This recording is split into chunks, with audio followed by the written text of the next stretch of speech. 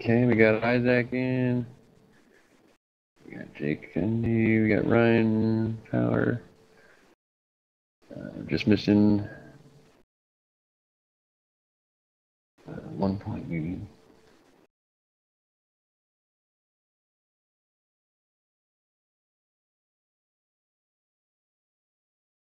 Uh, the the California spec is just for the emissions protocol. So pretty much once you start tuning on it, um, you can you have all the same features that non-California spec uh, has. It's just a matter of excuse me. It's a matter of just like ditching the cat, turning off the deep, all that kind of stuff, uh, the different engine check functions and whatnot. But because the the PCM file is different, that's why you have to when you connect the Cobb, it asks you is it a federal one or California spec one. It's just two different types of uh, firmwares, but they tune the same way.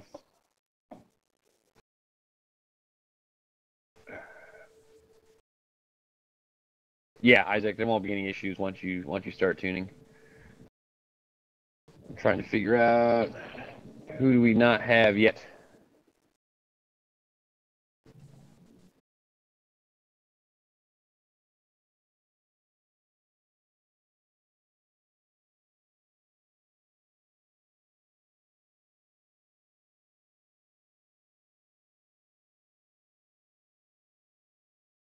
Yeah.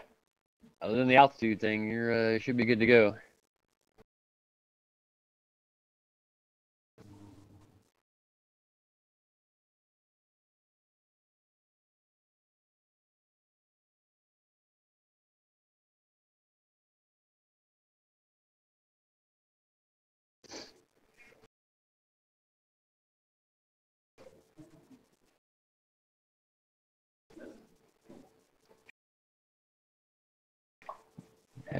Technology issues here.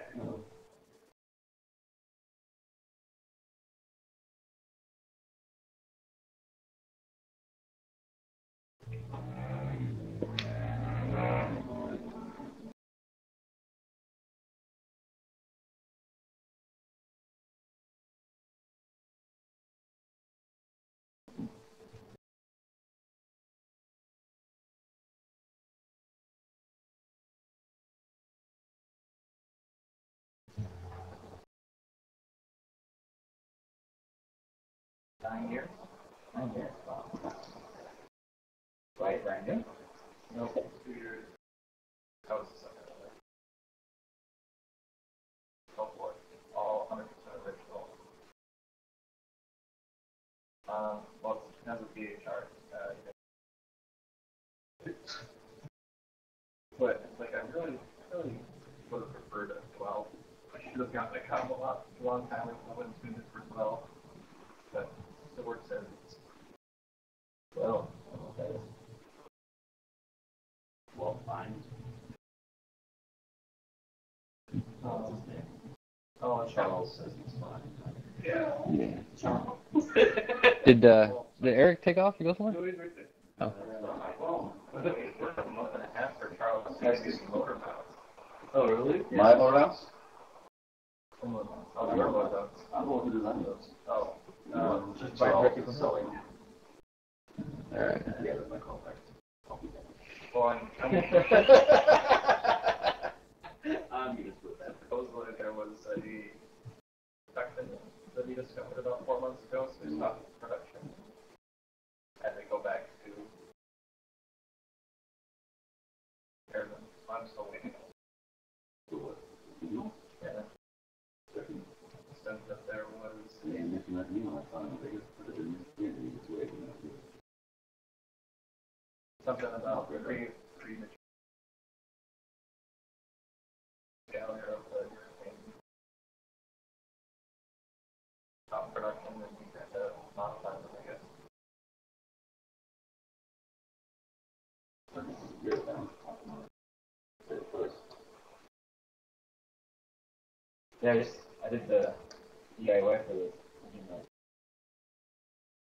I don't know, well, I thought it worked pretty well. I oh yeah, but I like the idea that it came to what, so, like the idea of like not letting you take the journal either, Mhm. so. Yeah. Oh, and I've got a small napkin. That pretty nice.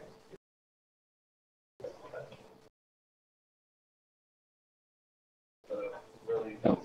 two things I wanted to probably well right. Uh, All right, so we're just missing oil meter a very. My stuff monopoly, the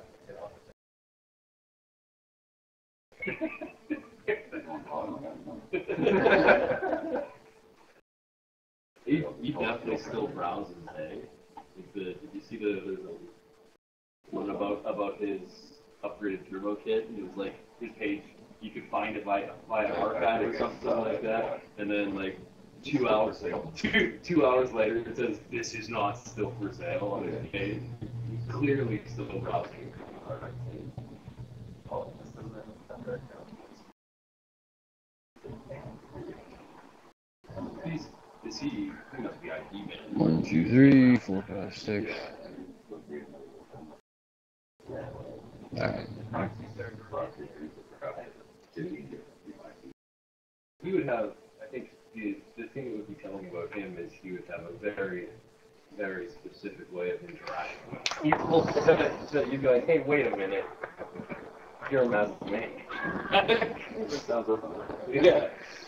Team viewer thing drive me crazy.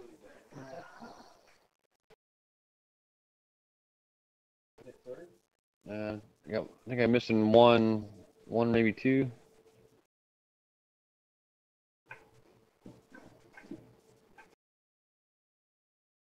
Three. It's so good. Like the best name on the board.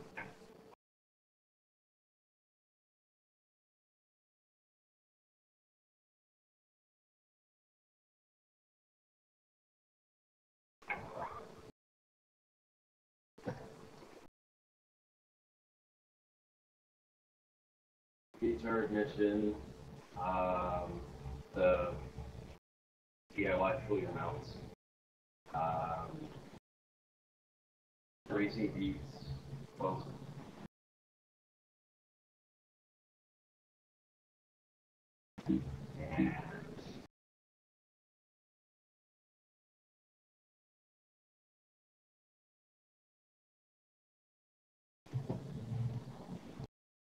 someone would think so, oh, I did the first one. Got. That's just, I think the buddy didn't pay attention to the course at all. I came to my car by the web. Basically, that's how that is uh, working out. Um. One, two, three, four, six.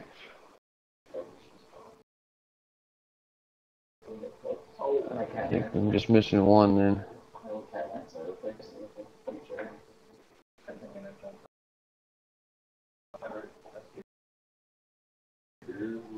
So many Like years. five? Yeah. Yeah. It seems Well, it's, it's seeing track time now, yeah. and there's still a mystery document that he's. Um, it's like, you know, when you make it, I'll take Mm. it. Yeah. Well, it seems. That's okay, Charles.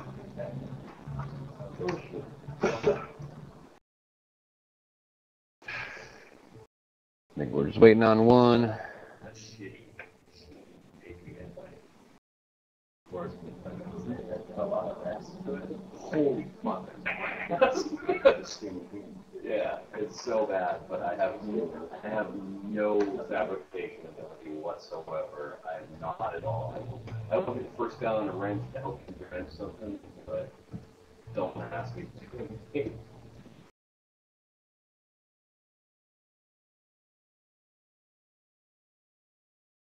And I was also cheap at the time. When I bought it, it was like twenty.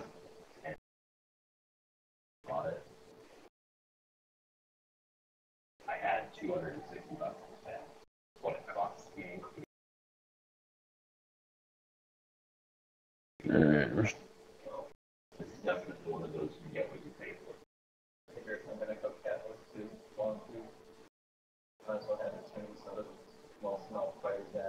have Mhm. It still smells. It's not bad smell. I like it. The best part is flavor stuff.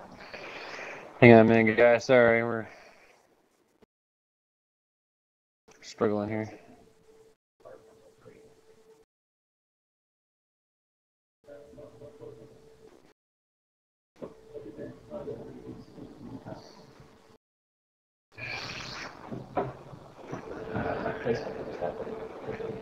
I've been trying to figure out, uh, debating if I want to go with all the corner later down, later down the road. Trying to design some way house.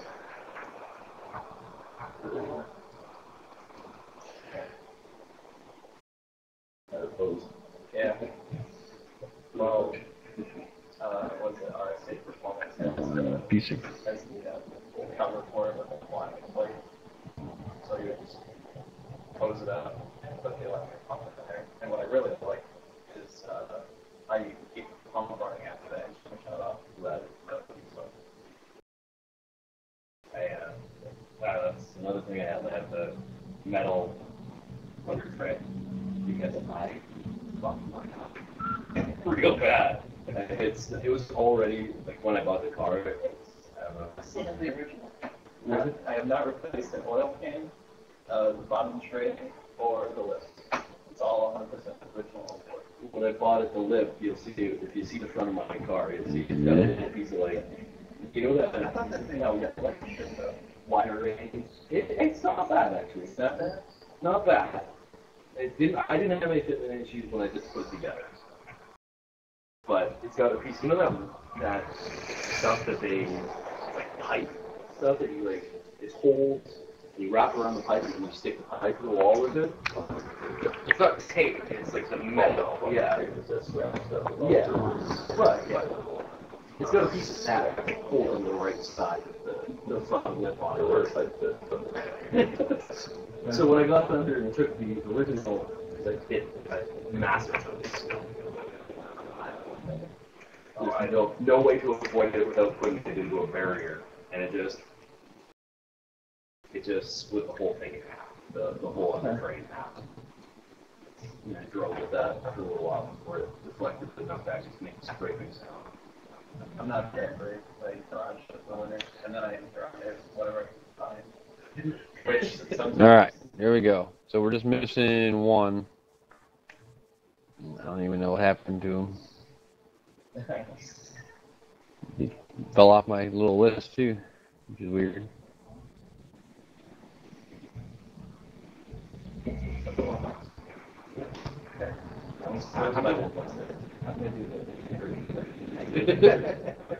then it's one point six and nine, then.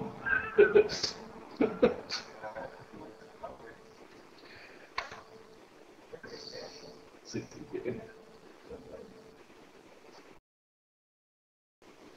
I know, I know the conversion rate is one point six zero nine miles. it by.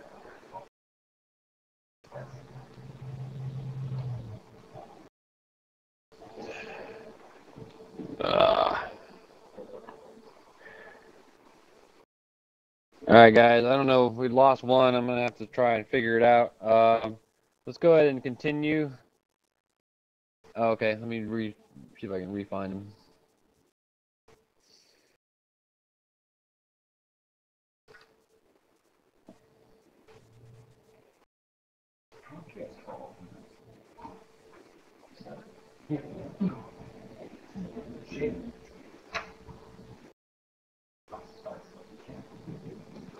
Yep. I don't know how he just dropped off like that.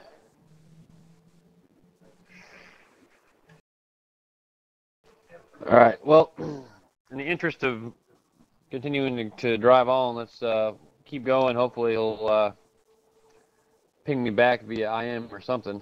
Um, if uh, one of you guys that have access to the internet, just keep an eye on the uh, RX8 Club for me and uh, chime in if, if he's trying to get help via the forums or whatnot and see if we can lend him a hand and get him back on here. All right, so. Oop. Good question, Isaac. I'm not sure. Let's see if I have it in my email. Not sure what his forum name is.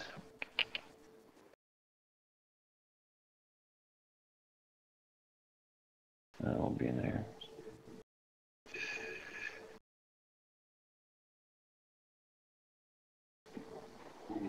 Too. We got too much technology going on.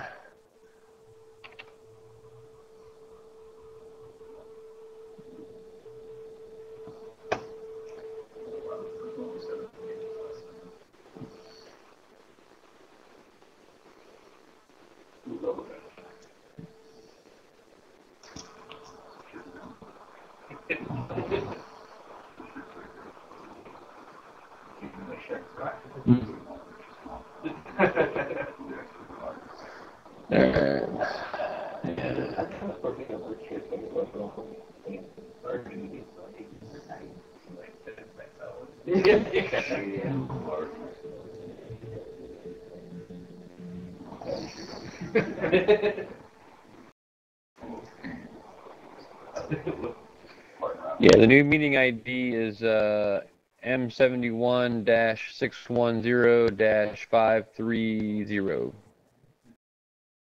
So everybody should have as their meeting ID. I don't have lot of torso, a long legs, but still. I guess it's like, it's like right on my belt. You know, small people. Uh, let's see. Yeah, I'm surprised they got into it. yeah, it's like brand. Yeah, I looked uh, last night. Drove last night. Uh, I think uh,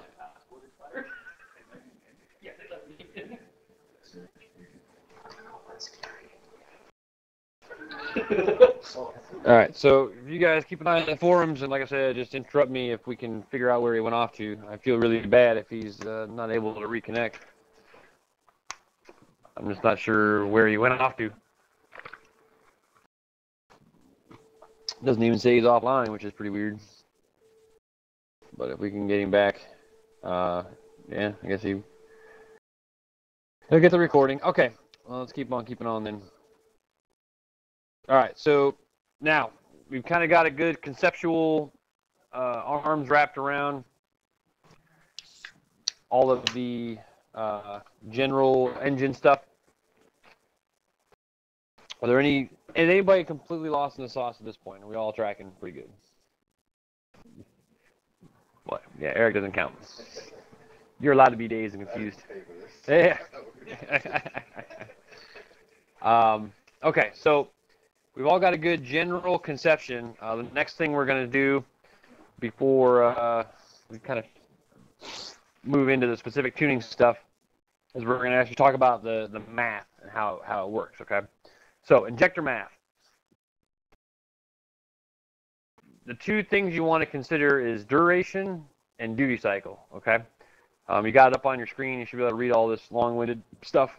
But when you're at 100% duty cycle, meaning that your injector is open the entire available time, then the solenoid that holds the injector back never gets a break and it'll end up overheating. So you don't want to run your fuel system at 100% for very long because that solenoid will overheat.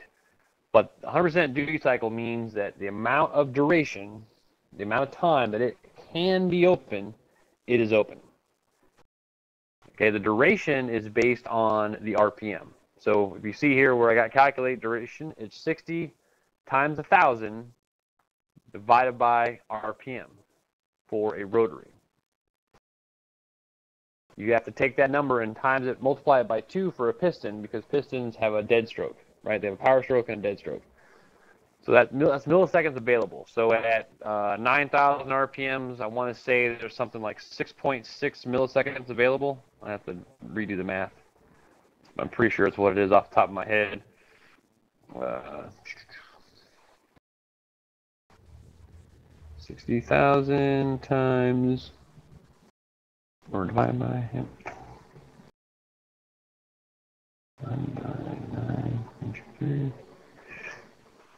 Yep. So it's yeah, 6.66 milliseconds is what's available at 9,000 RPMs. That's that's the duration. So the duration is a measurement of time. It's absolute. You know, there's, there's no variables or anything to it. The duty cycle is what percent of that, say, 6.6 milliseconds of duration is the injector actually open. So if it's open for half of that, you're at 50% duty cycle. If it's half it, if it's open for you know three quarters of that, you're at 75, and so on. Okay. The Cobb reports both duration and duty cycle, so you can monitor these things. And the goal when you're starting to make power is you want to make sure that you're calculating and realizing that your injectors may get to a point where they get above 80, 90% duration or duty cycle, in which case you want to start thinking about bigger injectors. Okay. Now, different tuning softwares you will actually have to put in the duty cycle and duration that you want. Most of your standalones, that's how they work. You tell it at 5,000 RPMs and this engine load, I want my injector open for 5.8 milliseconds or 47% duty cycle or whatever. With the Cobb and some of the newer generation stuff, we have the advantage of putting in our target AFR and our injector size, and then the computer does all the math for us. So that's a good thing, but we still want to basically know how this works. All right, we'll skip that. Okay.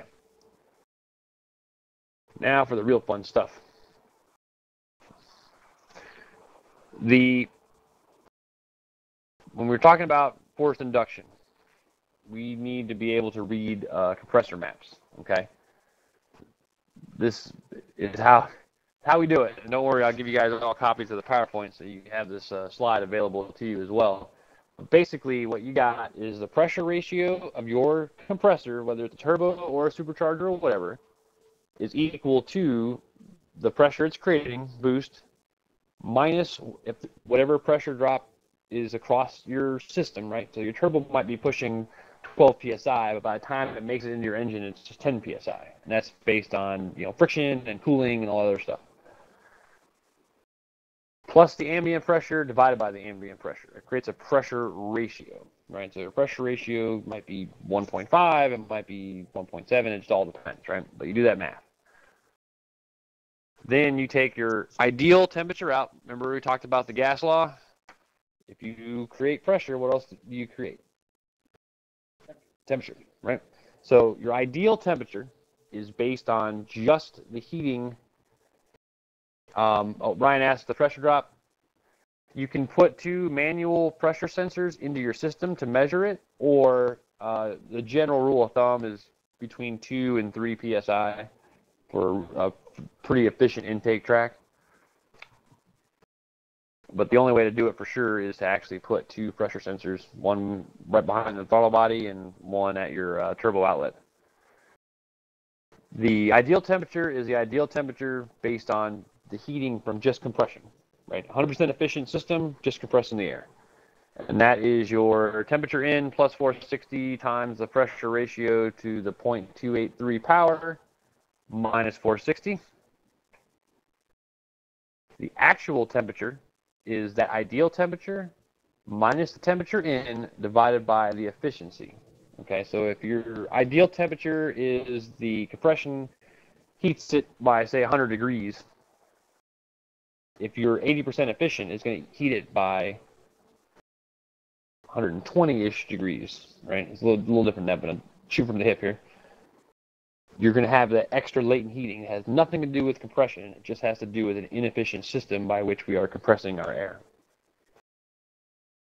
That allows you to figure out your density ratio, which is the pressure ratio times the temperature in plus 460 divided by the temperature out plus 460. Right? That temperature out is the is not the ideal one.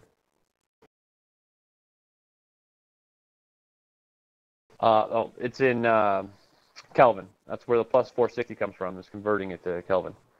All of the the measurements would be in Fahrenheit. If you had Celsius, you'd have whatever the different conversion factor is to get to Kelvin for this math. All right, so the pressure ratio is basically, or the density ratio is the pressure ratio modified by our temperature change. Okay, so we have that information. So now you have your density ratio. Then you got to figure out your engine displacement, which is number of cylinders times stroke times bore squared divided by 1.27, which is very easy for us because we already know it. 1.3 liters, right? Or, or 80 cubic inches. In this case, we're going to use 80 cubic inches. So, the volumetric flow rate that that engine is capable of at 100% efficiency is the displacement multiplied by the RPM divided by 1728 for a rotary. Okay. Uh, 3456 if you're using a piston, because again, they have a dead stroke, not as efficient as a rotary. Your volumetric, your actual volumetric flow rate is the volumetric flow rate at 100% multiplied by the VE, right? So if you're 100% efficient, it's the same. But if you're only 80% efficient or 90, et cetera, et cetera, right, you got to adjust for that. Then you figure out your mass flow rate without boost, which is 2.703 times pressure at the ambient times the volumetric flow rate divided by the temperature of the ambient air temperature plus 460. Then you take that mass flow rate uh, naturally aspirated, right? You take that number and multiply it by the density ratio, which now we're talking about our compressed air. Okay. And then your horsepower, brake specific horsepower, uh, is mass flow rate times 60 divided by the air fuel ratio times the brake specific fuel consumption, which is a measurement of how efficient your engine is at converting fuel into power. And rotaries are not as good as pistons at this. So we're like at the 0.6 area, whereas pistons are 0.7 or sometimes even 0.8. We're very fuel inefficient cars. So we can make less horsepower per amount of fuel consumed. What's that? They use lots of fuel efficiently, yeah. Um, so now and then on this horsepower calculation, you can do a general rule of thumb, which is mass flow rate times 10 to give you an idea. So if you're moving 40 pounds per minute of air, you can guesstimate that you're making about 400 horsepower at the uh, flywheel. So it's a, and again, it's a rule of thumb with the guesstimation. It's not. It, there's other things, drive shaft and gearing and everything else that impact that. All right. That all being said, we have now have our mass flow rate at forced induction. excuse me. At a different RPMs, right? You're going to do all this math for more than one RPM. All right. So we determine what our boost goal is, right? What, how many psi we want our turbo to produce. Then you get your pressure ratio and your density ratio. Then you figure out your mass flow rate for various RPMs. So we're going to use uh, a rotary Renesis at 13 psi on a 2871R turbo. That's going to, for our example here. So we do all that crazy math again. See how I've got it there? The mass flow rate at 9,000 RPMs is 2.703, blah, blah, blah, blah, blah. Okay, 49 pounds per minute of air. And then yeah, I've got everything else down below it kind of measure, okay? So let's see, how many PSI did I use? 13 PSI. Okay, so in a 100% efficient system, if your turbo can produce 13 PSI at 9,000 RPMs, the engine will generate 49 pounds per minute of air, which is roughly somewhere in the 450 horsepower range, right? That's assuming that you have a turbo that's efficient enough to do it right? And that your engine is efficient enough to do it, right? So this is all ideal state. And what I'm going to show you next is you guys will start to see where this whole turbo sizing thing becomes an issue. So this combination theoretically should be able to get us to uh, 450 horsepower goal, right? Using that rule of 10 as a rule of thumb. Okay, now watch what we have here. Let's start compressor map. Now notice my 1000 and 2000 are blue, right? And the reason why those are blue is because the engine exhaust is not enough to get the turbo to generate 13 psi, right? It's not spinning fast enough. So I'll show you how to modify those in a second. And we got 3,000, 4,000, 5,000, 6,000. I went ahead and just skipped over to 9. Okay. Now here's your problem. You see how the efficiency map of our turbo goes up and to the right? Okay. Our engine does not go up and to the right. So at 9,000 psi, you're way over there. There's no way that that turbo can make 13 psi at, uh, 9,000 RPMs, at that volumetric flow rate. And here, this is the issue that we have with turbos. Okay. Turbos, as you can see from the shape of this curve, turbos are generally designed to remain efficient, creating more and more boost for the appropriate mass flow rate, more and more pressure. So they want to create more and more pressure to create that mass flow rate. That's why they're they kind of lean over to the right a little bit. You can't we there's no turbo flow map like that that lays down on the side pretty much. Okay, so then we adjust our line here, a best fit, and you see that I dropped the 1,000 into the 2,000. What you have to do is you go back and, and when you look at those uh, mass flow rates for the engine at the lower RPMs, you have to compare the AR trim, which is the backside, the hot side of the turbo, with those mass flow rates to get an idea of how fast that thing is even going to be spinning. If it's not fully spun up yet, you're not going to get your 13 psi. So we already know this turbo is not going to be a good fit because we not we can't go past 6,000 RPMs with it. It'll just start to fall off. Okay. The way we tell that for the 1,000, 2,000 is this is your AR trim map. So you notice here uh, I forget what the pressure ratio was. It was uh, 1.5ish, I think we were looking at the pressure ratio. I have to go back. But if you look here at your uh, gas turbine flow pounds per minute, remember, this is hard for people to get their head wrapped around, but we didn't create any new mass inside of the engine. Right? Nothing new happened. We didn't create anything. So the amount of air going in is equal to the amount of exhaust going out. Right? It doesn't doesn't seem like it should make sense because we have this big explosion inside the engine. But the reality is, is that the mass going in is the same as the mass going out.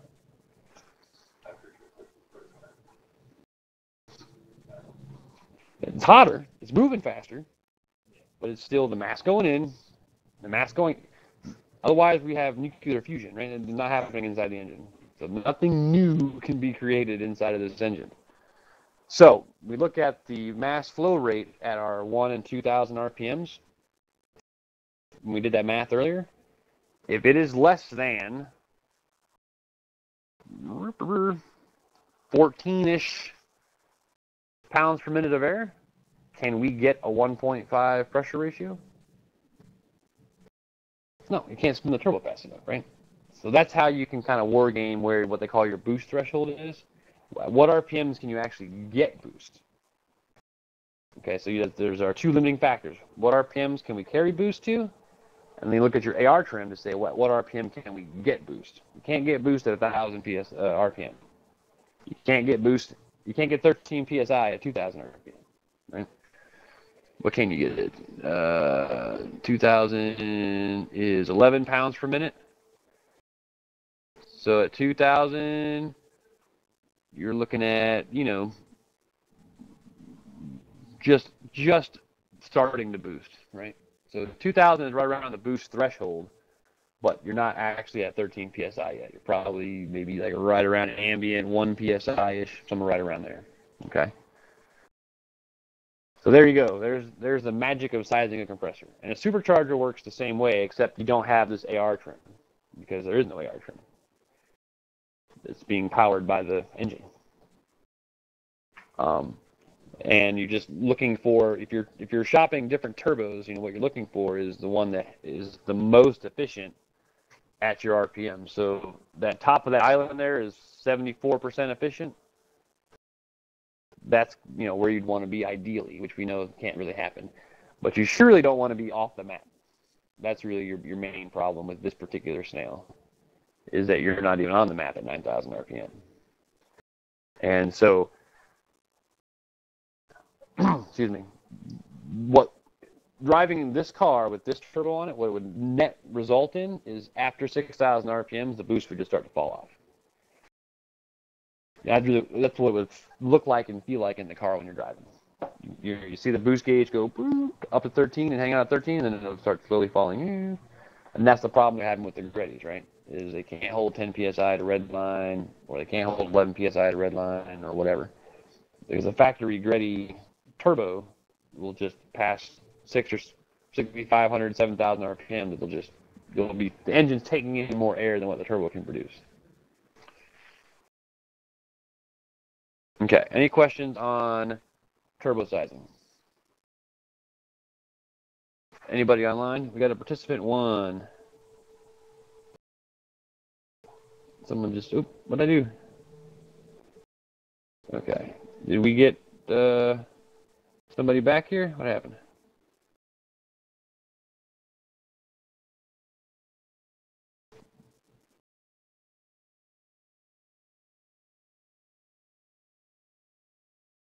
That uh, Antavius? Hello.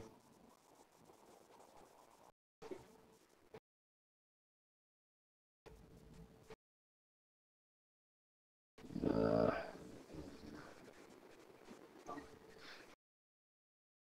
okay. Well, what's his real name? Antavius is back. All right. So everybody's good now. Oh, we lost 1.3. All right, then bring him back.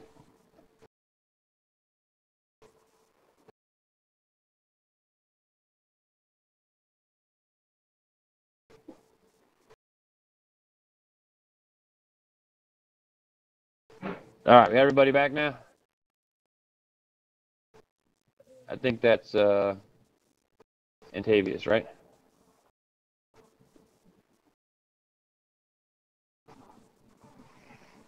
Yep, participant one is Antavius. So everybody's here. I think we're good.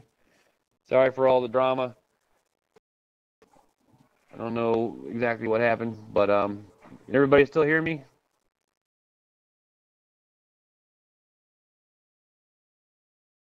Yep, yep, yep. Everybody can see the screen?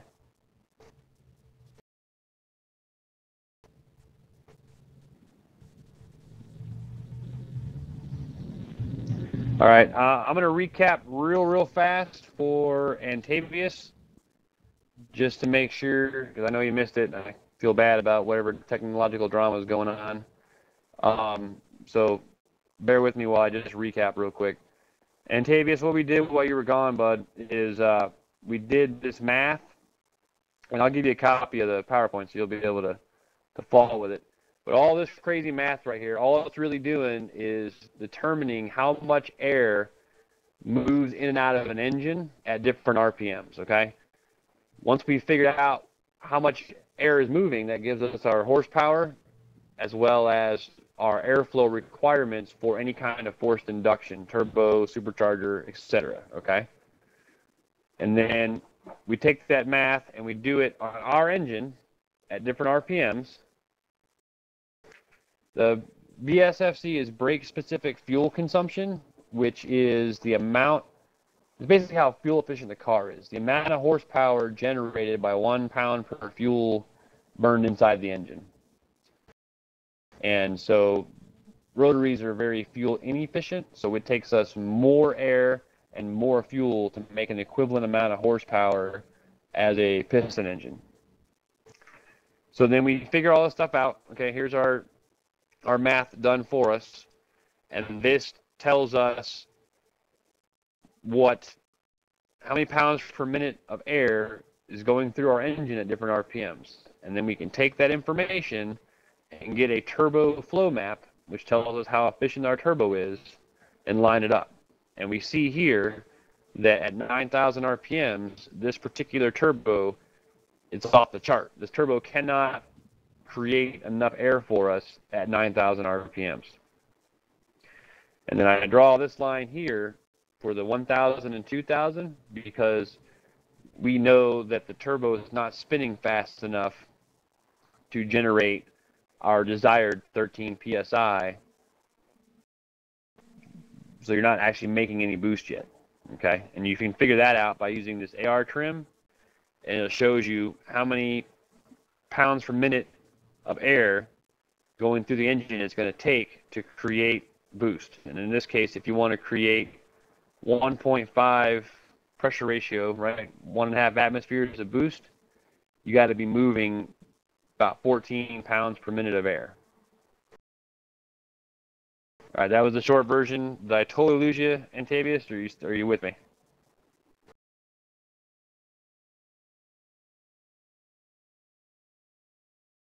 All right, cool. Moving on. All right, so the next issue we run into is packaging constraints, right? You got to uh, take into account how big it is, how much room you have to, to do it, um, et cetera, et cetera. Okay.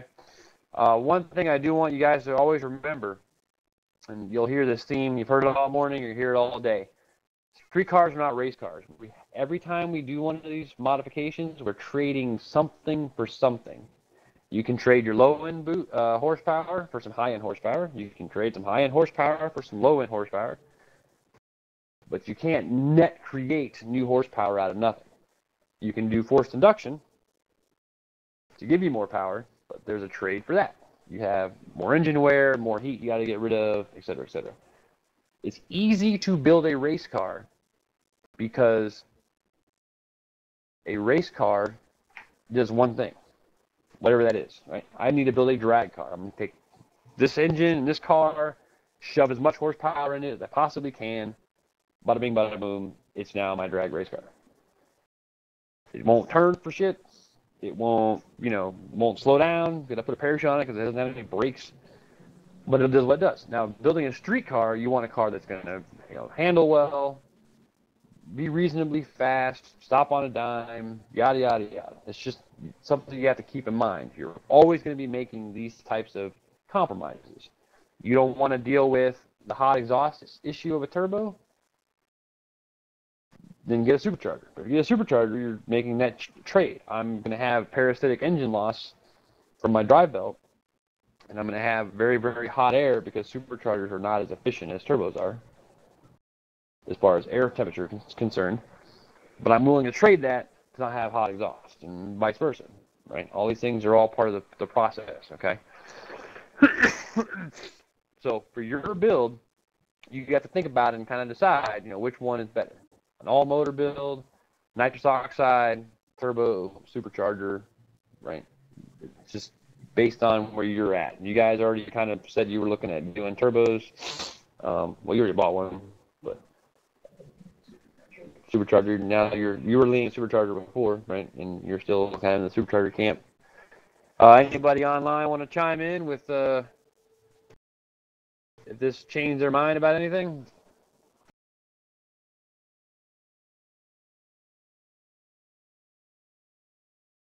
Nope. Okay. Moving right along.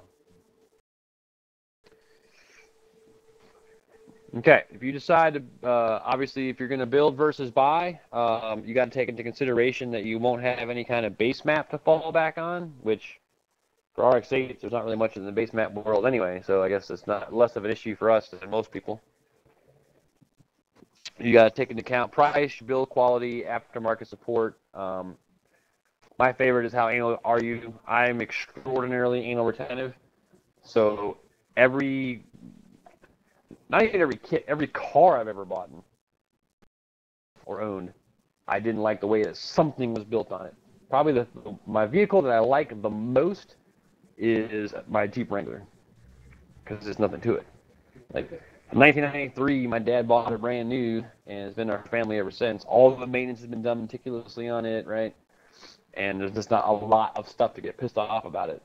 But you know, even my RX-8, every time I go underneath it, I was like, ah, I got to replace all these bolts with some stainless steel ones because this one's corroding and blah blah. blah. So, you know, I'm one of those guys. I'll end up building my own Uh, Factory 5 Cobra is my next goal after I finish my school. Um, and it, it's solely so that I can build a car the way that I want to build it. Right? All stainless steel or titanium bolt. I'm going to spend a fortune, but it'll be built the way that I want it to be built. So if you're anal retentive, you might want to think about the build process versus the buying. You know, even if you can't do all the fabrication yourself, you can take it to somebody and have them like just do the manifold and get it done exactly the way that you want it and it with what you want it to be coated with, et cetera, et cetera. And then obviously buying, you get whatever they give you, and if you don't like it, you replace it. So sometimes you buy a kit and end up replacing half the parts. All right, so we talked about uh, brake specific fuel consumption. You guys asked me about it, so here you go. I'll give you a minute to kind of read it. Um,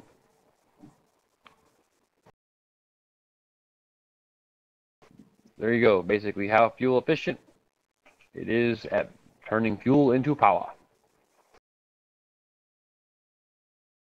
All right, and then we also know that anytime we add forced induction, we reduce the reliability to some degree, right? Now they're going to blow two days later? No. Well, maybe. Hopefully not. Um, but you have to. There will be some sort of longevity hit that you're going to take by adding all of this heat and power to your engine system. Um, it's also no different than if you add uh, higher redline, right?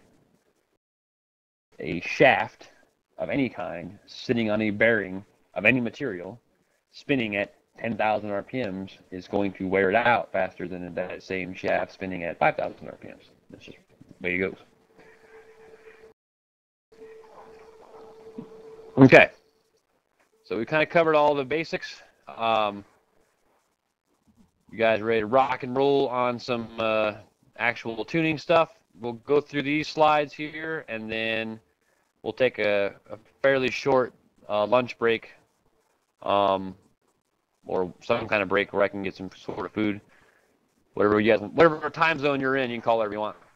But uh, and then we're actually going to get into some of the hands-on stuff, okay, with the Cobb. So important terms to know: AFR and lambda. AFR is the air-fuel ratio. Okay, so 12 to 1, 13 to 1, etc. Uh, lambda is the same thing based on a ratio of stoichiometric. So a lambda of 1. Oh, hang on a second. Ryan had a question. Uh, yes. You are correct, Ryan. BFSC is how many gas pounds per hour per horsepower produced. So it's a measure of an engine's fuel efficiency at making power. Um, so lambda of 1 is 14.7 AFR. A lambda lower than 1 is richer and higher than 1 is leaner than 14.7. That's how that works. I, it's much like the metric system. It logically makes sense to me. I understand it. Intuitively, I cannot read lambda. I just have never been able to. So someone told me I'm running at 0.87. I'm like, cool, man. I have no idea what that means. You tell me you're running at 12.1. Got it. And intuitively in my head, I understand what that means. So that's just me. Other people, I'm sure, are differently. Lambda. How many feet are in a mile? Yeah, nobody knows that. Well, you know, being an army guy, I will admit that when I'm doing like overland movements, kilometers, meters, got it. But and I and when wrenching, it's nice. Hey, my 10 millimeter wrench doesn't fit. Guess what? The next wrench I'm gonna grab, the 11 millimeter wrench. Not these. Oh, my, yeah, my 7 16ths is too big, so I now got to find a 9 16 8 16 is half an inch. You know, yeah, I got it. Do you use MOA or MRAD then? MOA. so Yeah, it's I said it's a lambda thing, man. I got it. Um, uh, lambda means I just that's what it meant again. Lambda means what percentage the engine is currently running based on stoichiometric, which is stoichiometric is 14.7. Stoichiometric is the most efficient. Yes, the stoichiometric is the most efficient AFR, meaning the most air meets with the highest amount of fuel. And we'll talk about that in just one second as far as deviating from, from uh, stoichiometric and why we do it. But there's just the two terms. So if you someone says AFR and someone says uh, lambda, etc., that's just it's the same thing. Whatever format you're you're reading it in. Okay. Um, timing, we have two terms: advanced and retarding. Advancing timing means that we are igniting the air fuel mixture sooner in the engine cycle. Retarding means we're doing it later in the engine cycle. Okay. Um, 12 to 15 degrees after top dead center is the greatest point of mechanical advantage. So if you just think about the, the whole levering factor, right? If top dead center means that the whole rotor face is smooshed directly this way. So if I had that was my point that I was going to push down really hard, it wouldn't go where I want it to go, right? But you let it rotate over a few degrees and then I push really hard on it, it's going to create that torque that we want, okay? And the same thing works on a piston engine because you have to rotate the rod right past the crankshaft a little bit. So that's your your greatest point of mechanical advantage. So if you can create the highest uh, chamber compression pressure at 12 to 15 degrees after top dead center, that engine will make the most power that it's physically able to make at that RPM. And uh, the question that we had, uh, oh, I got a bunch of questions here. Yeah. Okay, uh, we'll talk about ideal timing on stuff later. We are going to go over how to do calculating timing, yes. Um, and the air fuel ratio is not of the intake charge. The air fuel ratio is once the two mix and they're inside the combustion chamber. They're inside the rotor. And degrees is the actual angular measurement of the crankshaft. That is correct.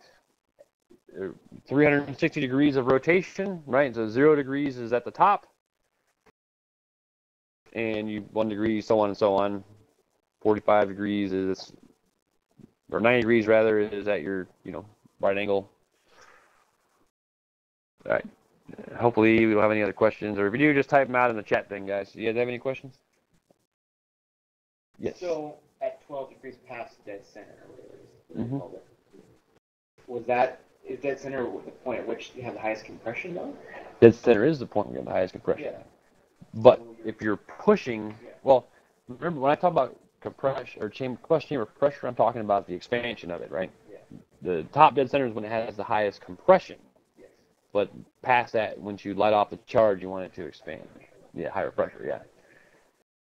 But the reason why you don't ever you don't want the highest pressure to be at top dead center is solely because the mechanics of the engine will not allow it to to rotate and move right.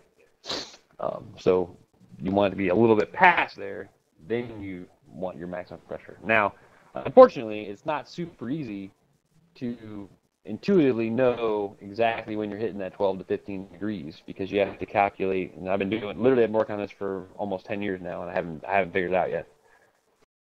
But I will. You have to calculate how fast the flame speed is, right, based on the increasing volume per degree of crank angle rotation, based on the cooling of the charge now that you're starting to move away, right, versus the heating of the charge when you're coming close together. How long does it take the spark plug to ignite? Then you have what's called your uh, your uh, laminar flame speed and your bubble flame speed, and they're different. And then you have what's called quench from the extra fuel that's out there cooling it as it becomes vaporized and stuff. So it, there's, there's all these variables. Short of having a pressure-inducing spark plug, which they do make very expensive, um, you don't know for a fact if you're getting your maximum cylinder pressure at that 12 to 15 degree top dead center mark. So you can use a dyno to do timing. You can do some math and get you pretty close. Those are really your only two options at this point in time. Uh, okay, crankshaft.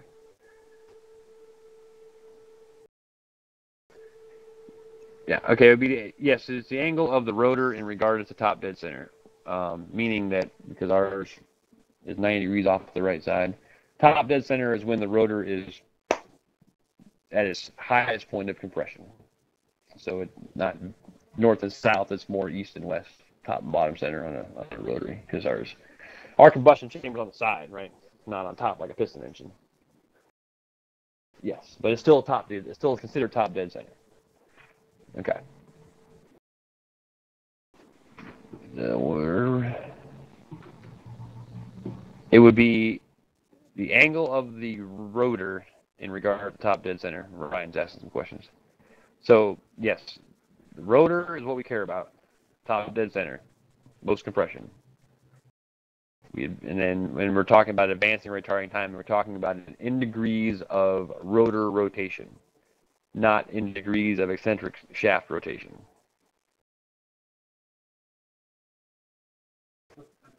Okay, uh, so keep going with some terms here. We have exhaust gas temperature. Okay, that's the measurement of how hot the exhaust is coming out of the engine. Uh, we have injector flow rate, which is the size of the injector. Okay. We also have, we talked about duration and duty cycle, and we talk about scaling, when we scale injectors in the Cobb, the the number that's in the Cobb Accessport is not a direct measurement of that injector. It's just what they call a scalar value, meaning that it is whatever it is. It's 467 for the secondary and the P2 injectors. Does that mean that they're 467 cc injectors or 467? No, it just means they're 467. So if they're 10% too small or 10% too big, you just modify that number. It's not a direct, I just can type in, I went and bought 1,000 cc injectors, so I'm going to go in there and type 1,000. It doesn't work that way. So when we talk about scaling for injectors or uh, we talk about scaling injectors, uh, that's what we're talking about. Is the deviation. Of scaling anything, mass airflow sensor, etc. Whenever time you scale something, you're simply modifying it by a percent to change your observed values to be in line with your your actual measured values. Uh, Ryan had a question. Uh, clarify: advance is to decrease the degrees to top dead center, and retard is to increase. I'm not really sure what you mean, but I'll, let me answer it this way. If you're igniting your ignition at zero degrees top dead center and you want to advance the ignition, you're going to light it at 10 degrees before top dead center. If you're going to retard it 10 degrees, you would then ignite it 10 degrees after top dead center.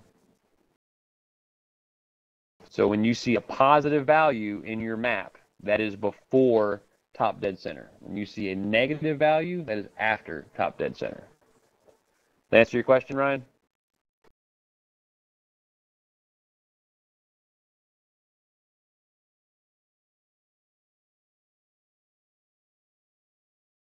Other way around. Advancing would mean 10 plus 5. Retarding would be 10 minus 5. Okay. Okay, so then we also have other engine sensors, intake uh, temperature sensor, coolant temperature sensor. You'll hear a lot of these IATs, ECTs, etc. Those reference the modifiers for your tuning, okay? They're all 0 to 5 volts. Every sensor inside the car is 0 to 5 volts, okay? And based on the voltage value that's being sent by the sensor. Some are variable resistance, some are potentiometers, some are uh, hot wire sensors, whatever. They work different ways, but they give you a voltage. That voltage is then translated by the engine's computer into a value. So two volts on this sensor means the engine's excuse me, is running at 180 degrees. 2.5 volts means it's running at 190 degrees or whatever. All of those sensors in turn modify your calculated load. And I think that's the last bombshell I'm going to drop on you guys before we take a break because it might nuke your mind. That whole calculation piece. So, all right. Now, as far as air fuel ratios, we 12.1 to 13.1 is your power band. What they call rich best torque and lean best torque. Rich best torque is 12.1, lean best torque is 13.1 between those two numbers is you can, for all intents and purposes, consider it to be a flat line of power. Anything in that range makes all about the same amount of power. We know that we know that 14.7 is the most efficient, right? Where all the air marries all the fuel and they live happily ever after and get burned. As you want to make power, okay, some of the what you want to make sure of is that all of your fuel molecules get burned. You care a little bit less what happens to the air, right? So that's why we richen it. We add more fuel to the mixture to make sure that all the fuel molecules find air molecules to burn. And that's why we run richer to make more power. Uh, past 12.1, as you go richer from 12.1, you are adding so much fuel that you're getting a little bit of quench and you're losing some of your power. Okay? That's just physics. There's no way around it. Uh, oh, I guess I'm getting choppy audio. Yes, it's 12.1 to 13.1, Isaac. Does everybody have else having audio problems, or am I doing okay?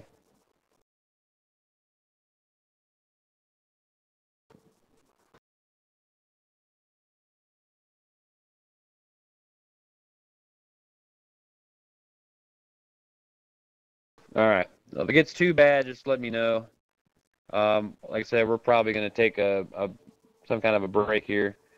Hopefully, uh, I can reset some internet stuff or something. Um, okay, so 12.1 to 13.1 is your sweet spot.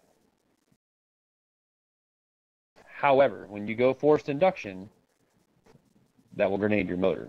It's still physically the best spot, but because you have so much higher density, you have to run richer than 12.1 to slow down the flame speed, which I know sounds completely ironic, but you're adding air to make a faster flame speed to make more power, but now you add more fuel to slow the airspeed down. But it's just the way it works. The goal is, again, you want that flame speed to be in the very high push category, not into the shatter category. And that's why we add extra fuel. If you add water or meth or any other cooling agent, you can then run 12.1 AFR because you don't need the extra fuel to cool it down and slow it down. You got something else in there that's doing that for you. The reason why they always say, well, I only run meth for safety or I only run water for safety is because they don't, basically, people don't have the guts to run around at 12.1 because they fear that their water system is going to break. If your water system breaks and you don't have that extra fuel, you will have a grenaded engine very quickly. So that's why people they you know, spend the money to get the system and they don't really use it. So I argue that why bother? I can always add more fuel. Gas is relatively inexpensive. Surprisingly, that's still relatively inexpensive. It's cheaper than water. You know, buy it per gallon. Bottled water costs more than gas. So it's still theoretically better to just add a little extra gas and use that as your as your measure of control. Okay, well let's move. All right, we already went over this, right? All that math. Okay, well, okay. So when you're tuning uh, forced induction on a, a natural, uh, naturally aspirated motor, uh, we got our choice of EMS pretty well down nowadays, right? For us, maybe a Cobb or the MazdaEdit, something like that. Um, you want to make sure you address your cooling, your fueling. You have to keep in mind your compression ratio. We don't want to increase a lot of, we don't want to do a lot of pressure increases, right? We want a lot of flow increases, but not a lot of pressure increases for our high compression ratio engine. Uh, we don't have to worry about cams, right? Anything like that. We do have to worry about boost control because we don't have a factory boost control. This is where uh, Ryan gets to win the lottery because he has his STI, which has a factory boost controller built into the system. He can just use his Cobb, log in to the STI, and be like, I want more boost, pink, done. And it's per load, per RPM, temperature dependent, everything. Very nice. You can't buy that and install it. that I've ever heard of, not as good as the factory one. Uh, if you're running FI on an FI motor, there, Ryan, same thing. You got a choice of EMS, you know, as long as you can uh, don't peg the mass airflow sensor, you can run a Cobb or something like that on STI. Um, obviously, you want to know your top and bottom end limits and whether you're going to use a factory boost control, whether you're going to change out the turbo uh, with something else, or just run higher boost on the same turbo, et cetera, et cetera. Um, okay, so now we talk about tuning for our variable uh, port timing, you have to make sure you take into account that you're going to have these transitions. Those transitions are going to be when the SSV and the APV and the VDI open, right? Remember, you have a transition, you're going to have either a choke point right before it or a lean spot right after it. If you're transitioning too late, you'll see it as a choke point. If you transition too early, you'll see it as sort of a deadline. And if you don't tune for the transition, you'll see that lean spike on your AFRs. And that's the most common one that we see on the RX-8 is a lean spot. Um, the uh, variable runner length versus lift and duration is for the cam guys, which there are none in this class other than Ryan's STI. But it's a cool picture. I like to leave it in and show you guys. You know, we talk about VTEC and all that making fun of that nonsense. Uh, the way that VTEC works is you, you guys know a camshaft is like a lobe, right? Pushes on your intake and exhaust uh, valves. Well, it's got a certain profile. Can't change it, right? But you want to be able to change it. You want to have longer lift and duration at higher RPMs. So the way it works for VTEC is there's a third lobe that sits in the center, right? It's bigger than the other two. Bigger lift, bigger duration. At a certain RPM, a pin plunges in there and lines up all three of those uh, cam lobes and locks them in and then as it spins, now the new bigger cam profile is opening up the intake and exhaust valve longer. Okay, so it's relatively ingenious but pretty simple system. Okay, but that's it's sort of like our VDI. It's either on or it's off, right? This picture is really cool because this is actually what Ferrari did. That's a cam profile for a Ferrari engine, and if you notice, it's in the shape of more of a triangle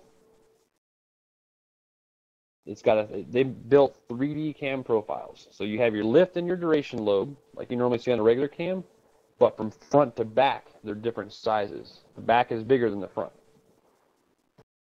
So it has infinitely variable cam profile.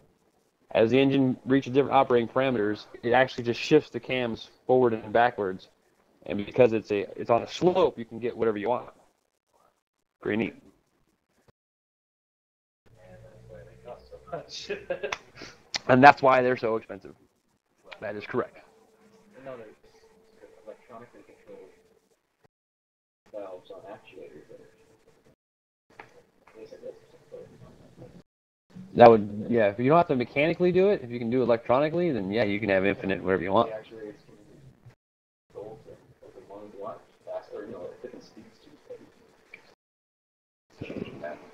Yeah. Yeah. Can you imagine the nightmare that's gonna happen when all the punk high school kids try and tune that nonsense? Leave them open all the time, man. It'd be awesome.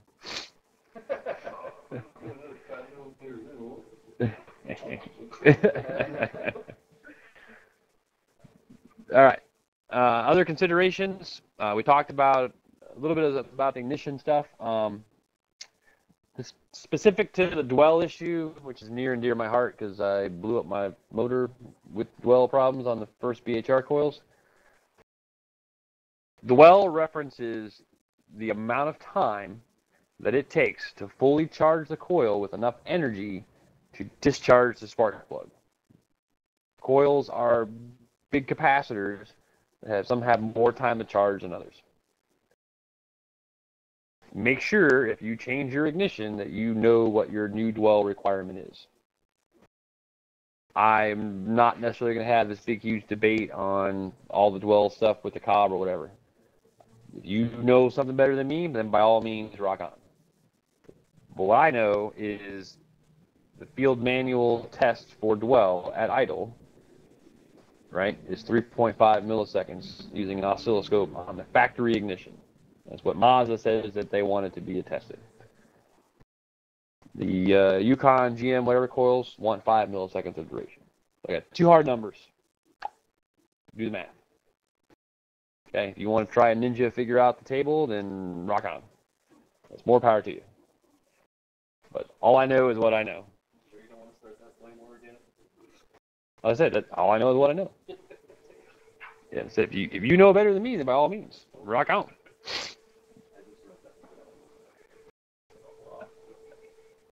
Oh, hang on.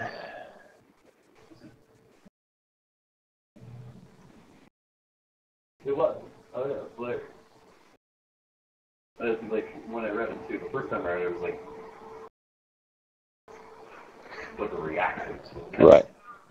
Yeah. Like, because there were some guys chatting about it too. Just to, to re-reference what I was saying. I know that the factory wants 3.5. I know the GMs want five milliseconds. I have I do not know for a fact what the numbers in the dwell table mean, because Cobb Mazda didn't call me and tell me what it was. So I know that I have this number, and I know that I have this other number. I'm going to modify the table by that percentage. If somebody else does something different and it works for them, rock on. I am not an electrician. I don't even own an oscilloscope. I didn't know what one was until I saw the field manual and I had to Google it to see what it was. And I was like, oh, yeah, I know what that is. But that's my level of knowledge. So your results may vary. If you want to use the Altman or whatever his name is uh, dwell table and it works for you, more power to you. Um, okay, again, we you want to talk about uh, as far as gapping club plugs goes. Um, as we get spark blowout, because of that denser mixture of fuel and air, air is what matters. But as you get that denser mixture of, of air in there, it becomes harder and harder to jump that gap. You can decrease the size of the gap by gapping your plugs different. Or you can get more powerful ignition, right? The two basically do the same thing, allow the spark to occur, okay? The other option you have when you get into a situation where you're generating a lot of power and a lot of heat is to get colder plugs that don't, the, the, the, the amount of heat generated by the plug is slightly less. Therefore, the theory is, is that it'll be less like, likely to be a hot spot in the compression chamber and cause pre-ignition. Like an overheated spark plug that's super duper hot, all by itself can ignite all of that fuel even before you want it to. But, I mean, really, any hot spot in the engine can do that. Uh, if you ever had an old car that used to diesel on, what they call it, when you turn it off, it would take a second, and then it finally die, it's because it had a hot spot in there somewhere that was still hot enough to ignite fuel. Uh, that's how diesel engines work. You know what I mean? So if you want to turn your high performance rotary into a diesel, give it a hot spot. Won't work out very good for you, but it's an option. Um, again, cooling.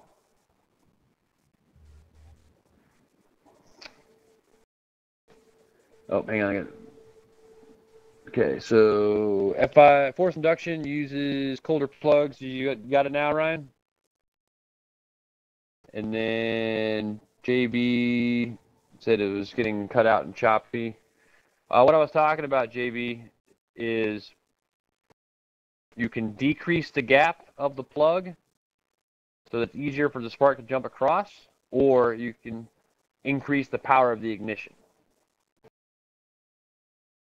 when you have very dense air, where you're having trouble lighting the mixture. Colder plugs are plugs that burn at a lower temperature in order to attempt to prevent a hot spot inside the compression chamber, which would then potentially cause a pre-ignition event. At 425 degrees Fahrenheit, fuel will ignite all on its own. And yes, it does increase the chance of fouling, right? Because if it's colder, then you may get more junk on it, not burning as hot. All right, we talked about cooling. Uh, we want to make sure that. Yes, that's correct, JB. Um, you want to get the heat out of the engine if you increase the power, right? So you got to think about your water pump, your radiator, your thermostat, uh, and you know decreasing the load on the engine cooling system. Uh, fouling simply means that there's carbon that builds up so heavy on the spark plug that it no longer generates a reliable spark. So you get a lot of misfires with fouled plugs. And then when you're talking about your, your fueling, you want to make sure you have adequate fuel pressure and adequate fuel flow, as well as that your injectors are the appropriate size for your level of modification. So you guys right now are all motor. Obviously the factory injectors are fine. Low level of boost, factory injectors are still fine. You start getting into higher and higher levels of horsepower, you're going to want to get bigger injectors. Um, Is there a You- dirty number or ratio, you think? say again? Rough and dirty number or ratio for when you think you might need to upgrade? Uh, I would say anything more than 300 horsepower at the crank, upgrade your fuel. So about 275-ish at the wheels, somewhere right around there. Uh, and well, the pump. Here's what I recommend for everybody on the fuel pump issue. Autometer makes a really cool gauge, which I had, a fuel pressure gauge, and they have that quick fitting that whoever sells. Um, but the fuel gauge changes color, I got a Nexus or whatever. And so I left it blue, like the rest of my gauges. And then if it ever fell below 55, it would turn to green. And if it fell below 50, it would turn red. So it was just an idiot light. Like I could still see what my pressure was. Factory fuel system is designed to run at 60 psi. I had the factory pump. I never fell below 60 psi. I was good to go. Other people, when they I seen them their their uh, boost logs, they'd send them to me. I'm like, "Woo, looking lean, bud." And what's happening is, is as they're boosting, it's the fuel pressure is dropping. Like, oh yeah, I get down to 45 psi when I boost. I'm like, oh, you might want to replace that bad boy. So, I would rather spend a couple hundred bucks for a monitoring tool that's going to always help you, rather than spend a couple hundred bucks to replace a fuel pump that you think is bad when it may not be. Yeah, and then fuel starvation is a bad situation.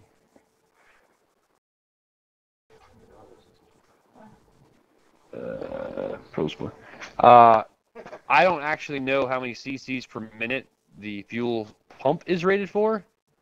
Um, as far as the fuel injectors, you got, I have to do some math on that. You got two primary at 280, and then four.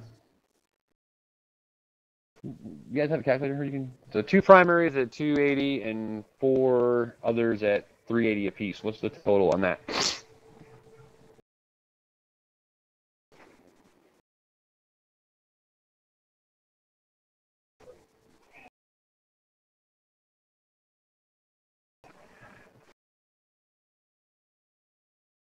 Um, I just been informed that the Pro Sport fuel pressure gauge beeps. That changes color. So Pro Sport would be another option if you're looking for a fuel gauge. 28. Okay, that's what Ryan said. Yeah, so the, the injectors are good for 2,800 cc's, um, which is good enough to get you probably north of 300. But remember, like we talked about earlier, if you're running at 100% duty cycle, you're going to overheat your injectors and have problems. So you don't want to run them at 100%. As far as the return fuel system, your biggest benefit is that you can put on a rising rate fuel pressure regulator. Because remember, the, a returnless system like the one we have is as the pressure inside the engine increases from your boost pressure, when the injector opens and you have 60 psi behind it, 60 psi of fuel is going to flow differently into a 10 psi boosted intake intake than it would into a atmospheric intake, right? It's not linear because it's fluid versus well, they're both fluids, but you know it's a more dense liquid. Blah blah. I don't want to get all crazy with it, but it's just different. However, if you get a rising rate fuel regulator, you plug in a a boost pressure hose to it. For every pound of, of boost pressure that you generate, the fuel pressure goes up one pound. So it keeps it all in line. It's a nice thing to have. But that's only if you have a return fuel system.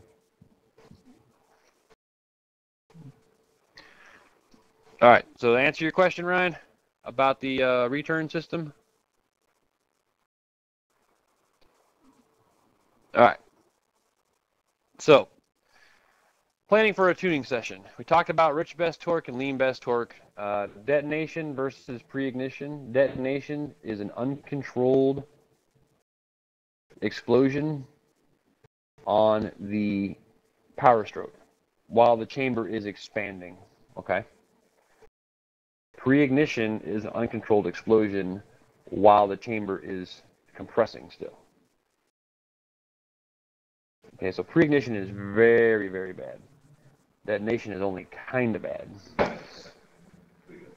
That was a backfire. Okay, um, we talked about spark blowout right from the dense air. A little bit different than a misfire. Misfire is just when the either due to fouling or whatever, right? The spark plug fails to fire. The ignition system just got something going on with it, or the fuel mixture is too rich. Sometimes you add too much fuel in there and get misfires, and it kind of gives you that like I call it the fat pedal feeling, where it just like over here a little bit of burbling in the exhaust, and just kind of feels like a thicker gas pedal. Spark blowout is again when you're you're boosting so much that it's just blowing the spark out from the air density, and that will feel a lot more like uh, you guys ever been in a, a factory turbocharged car and hit like boost cut? Or fuel cut in a no? It's like a wall. It just turns off. You know what I mean? So you're driving and you're in it because you're boosting, obviously, right? You get your foot in there and it just like, whoop, and you just lose it. I mean, then it'll catch. It's not like it dies, but it just hits. It's like hitting a wall, and then it'll drop back down, and then it'll start working again. Because the spark plugs work, they just got blown out by the air pressure. All right. Uh, make sure when you start tuning, you set realistic goals. We talked about that before, right? Don't chase the don't chase the dragon. And well, not only that, but here, here's what ends up happening. And because I'm a, a relatively realistic guy, I I see it coming and I kind of plan for it. But like it's not my car. I do I tune people's cars and they're like, oh, I want a dyno. I want 350 horsepower. Dude, I'll get 350 horsepower of that car. It's not mine. I don't care. Yeah.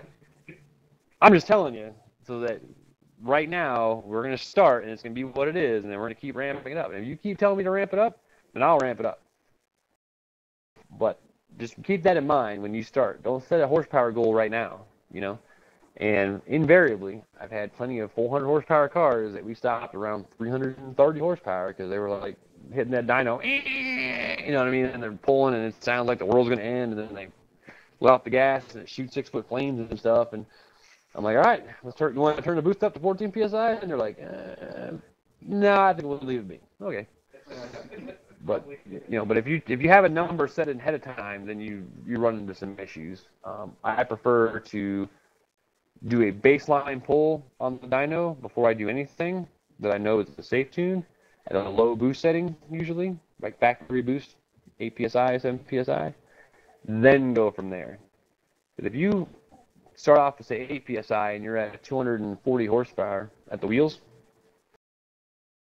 and at 10 psi you're at 200 and say 75 horsepower at the wheels, right? That's a very good improvement in power right, for that number of psi. Do you realistically think that you can get another 25 horsepowers, you know, with another 2 psi? Probably not. You're probably going to need another 6 or 7 psi on that turbo to get that power. So if you know that going into it, you're like, well, I'm not cranking this thing up to 16 psi. It's not going to happen. So then you just walk away. All the good. Have realistic goals. All right. Make sure you change. Know what you can change change one thing at a time. Always, always, always change one thing at a time. Measure, then change one other thing. Okay? Don't go chasing around all different stuff. Um, the the question was asked on an FI motor, do you give a safe baseline? No. There's really no such thing as a safe baseline tune on an FI motor meaning that when you force do force induction, you have to tune everything that's not forced induction first, and then you sort of slowly work your way up into the forced induction side. Because if you have everything scaled correctly, if you have your mass airflow sensor scaled, if you have your injector scaled, if you have your V map built correctly, then any changes that happen in boost should be minor. If you haven't done that correctly, and then the first time you go into boost and you see AFRs of, you know, 14 to 1, that's a bad day waiting to happen, right? So you change small stuff at the beginning and work your way out. Take your time. All right. This is the one I'm gonna do this one right here, and then we're gonna take a break, guys. Uh, this well, the next two basically. This is what's gonna blow some people's mind. All right.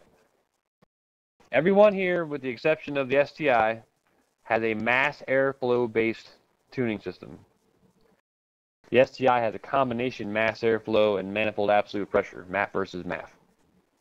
Okay, the load is the mass of the air ingested divided by the mass of the air that is capable when modified by the throttle.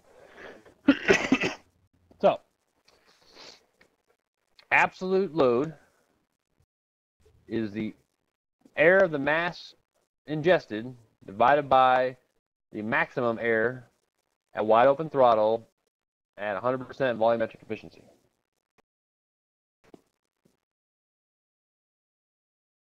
All right, so what you have is a mass airflow based tuning system, which is a fixed volume, variable mass air pump. It's always 80 cubic inches, but it is not always capable of 80 cubic inches of de- air at 80 degrees Fahrenheit, which is 100% load, right? So what ends up happening is your fixed volume variable mass engine uses the uh, barometric pressure sensor, the intake air temperature sensor, to modify what 100% load actually is. So 100% load and Las Vegas right now is a lower number of grams per second of air than 100% load here in Seattle is. Same engine, same car, same everything. Different molecules of air. But it needs the definition of load for fueling purposes and for timing purposes, even though it's sort of a moving target. It has modifiers. So as the load goes up, because you're in denser Seattle air, it needs to add more fuel and timing, right? So, everybody kind of tracking how that works? So even though a mass airflow sensor is a hot wire sensor that measures the mass of the air going into it, independent of any other variables. A mass airflow sensor does 100% of the measurement of the air going into your engine. The other sensors modify what 100% load is for that engine at that moment. Make sense? All right, let's see if I nuked anyone's brain uh, on the thing here. Uh, that, that's the point, Ryan. You don't have to recalibrate the mass airflow sensor if you do it right. Um, if you if you properly modify and scale everything, temperature, pressure, all that stuff, all those modifications to load should happen seamlessly. You should not have to recalibrate. The only time you recalibrate your mass airflow sensor is when you get a new air intake. Now, if you have a manifold absolute pressure sensor, it depends on how old the car is, to be honest with you. The older ones, the FDs and stuff, those do need to be recalibrated at different altitudes. But the newer ones, they, they have their own modification tables that work pretty good for them as well. Okay. Yes, if the different air intake has the same inner diameter, you still have to recalibrate the mass airflow sensor because the mass airflow sensor is a little tall, small, tiny little circle thing sitting somewhere in that intake tract. It doesn't measure all of the air. It takes a sample. So every air intake is going to flow differently. Even if it's the same size, the flow is different. You got to make sure that your mass airflow sensor is adequately measuring the airflow. How do you calibrate that? I will get into that during the tuning stuff. Yeah, there's a way to do it. All right. Any more questions? Okay. I'm going to skip the piggyback unless anyone wants to learn about piggyback. Speak now or forever hold your peace. Three, two, one. Okay. Staying alone. Anybody need to know? Three, two, one. Okay. All right. So our PCM flashing, right? We're gonna override our stock settings. We're gonna scale the sensors and load correctly. All right. We gotta know how our tables interact, and we know that we can't go. There's certain limits to the PCM flashing, right? Now we don't have to worry so much about the bricking the ECU thing anymore. That's pretty much gone away. But there are limits to how much adjustability you have. Right? You'll never have a factory boost controller if you don't have a boosted car to begin with. You cannot go past five volts on the mass airflow sensor, so then you end up having to get a bigger pipe. You know, three and a half inch pipe, you're limited to 400 grams per second of air or so, I'm right around there. It's just the way it is. You gotta get a bigger pipe. Uh, MazdaEdit is a PCM flasher. Yes, that is correct. MazdaEdit works the same way as the Cobb Accessport. Okay, so we talked about the load, right? Now I'm going to show you this video and I'm going to try and talk through it and we'll see how many questions we get. Okay, so what we got here is our mass airflow table, right? We're going to get the voltage off the sensor. It's going to give us the grams per second of air. Then it's going to go and it's going to look up on my load limit, right? Making sure that my calculated load is not over the load limit. Then it's going to go to the barometric compensation, modify the compensation. Then it's going to go to the air intake compensation table, compensate the number once again. Then it's going to go up to my fuel VE table and look at what my modifier is based on the fuel VE. So our now we've got most of the numbers to figure out calculated load, right? So now I have all these numbers to give me my calculated load. It's going to go to my base air fuel table, look at what the target AFR is. Once it has that target AFR, it will take my actual AFR and give me my short-term fuel trim.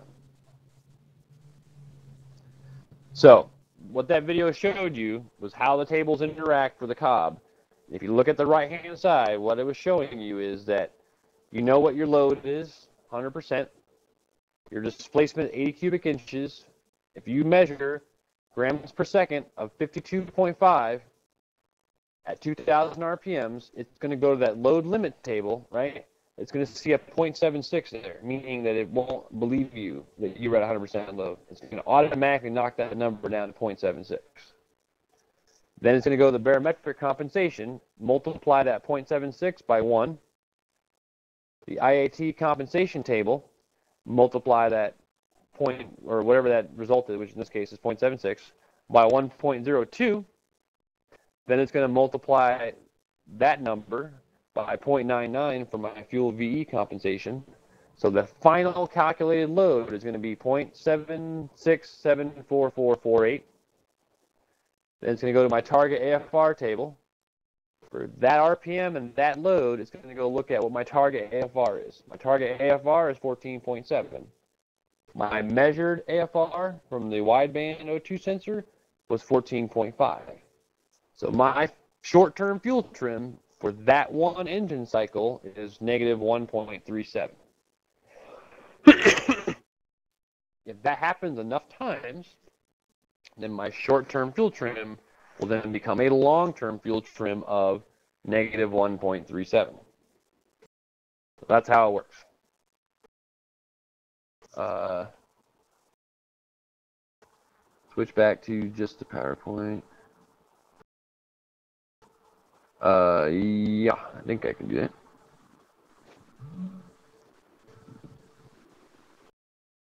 That better, uh, Ryan?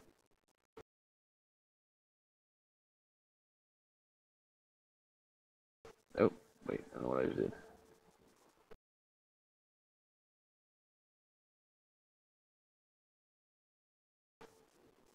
I can't get my thing back. There we go. Okay, let me go back to it then. Okay. That's what they were seeing, so I had to switch them around. Okay, so uh, so basically, all right, that that's how the load is calculated, and then you get your short-term fuel trims.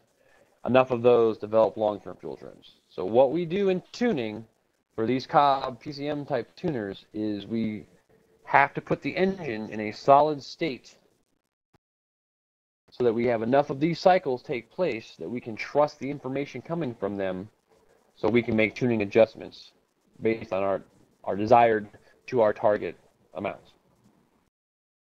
That's the sole secret of the process. Now, you still got to do math for your AFRs and all that stuff, but the math for NA is real easy, right? 12.1. If you want to be a little bit richer for safety, in case you get the bad gas, which is a good idea, right? Sometimes you get bad gas, then yeah, run around 11.8, 11.9, right? But when you look at the factory map on the RX-8, they're running like 10.4. And that is all there to save the catalytic converter.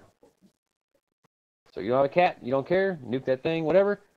Run it 11.8 to 12.1, something right around there. Done, too easy. For the forced induction guys, it's a little bit more nuanced. You kind of want to be a little bit lower, 11.3, 11.4, dipping down into the high 10s without actually causing misfire, right? The timing's a little more complicated. We're going to go into that in a little bit. But the basic process of how these maps interrelate is the key thing to understand so that you can see where all your modifiers are.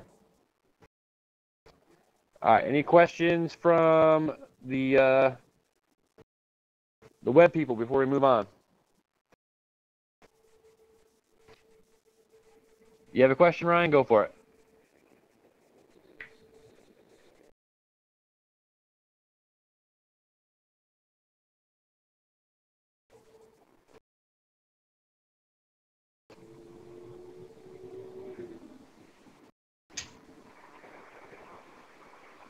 You guys get hungry at all? You a little burnout? Okay.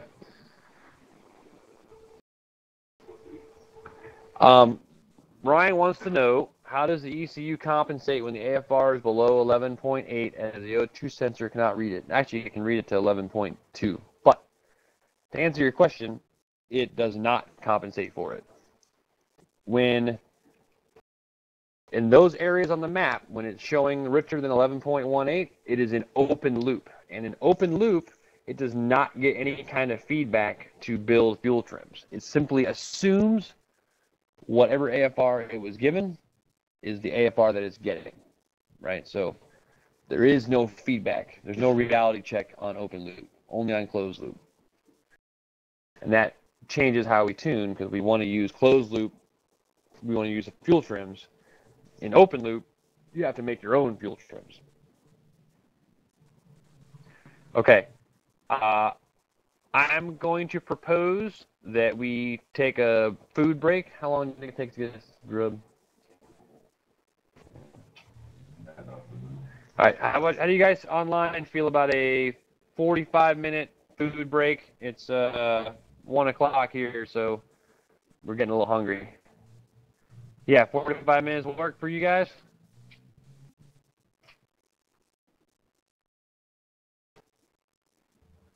Okay. Perfect. Dinner time for Ryan. All right, so let's do 45 minutes. Um, in the event that this thing goes crazy again and fries itself, just re-find me on TeamViewer and we'll try that part all over again, okay?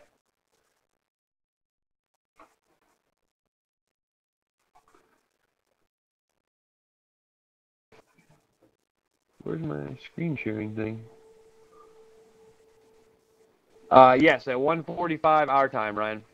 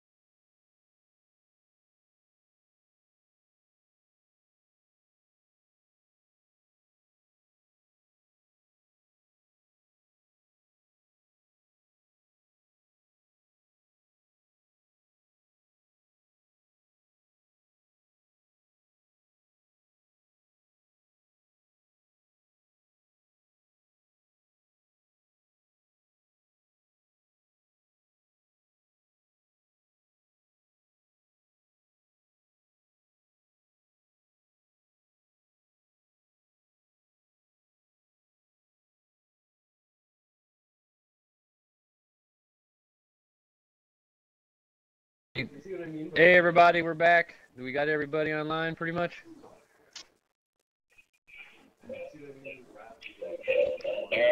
All right. Antavius is back. Cool. One, two, three. All right, I think we got everybody. Someone's got a hot mic though.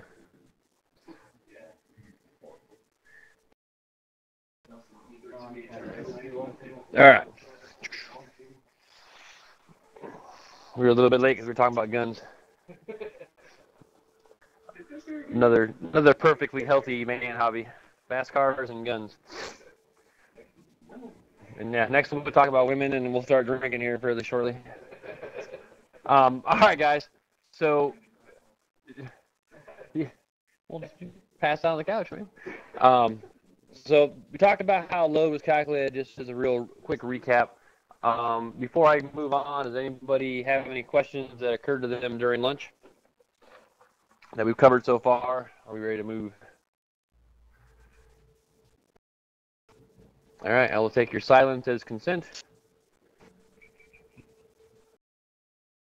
Oh, somebody have a question? Yeah, Kane. Um, I was just wondering about the um, actual, uh, sorry, no, the target AFR uh, read from the OBD. Um, is that um, before or after trims are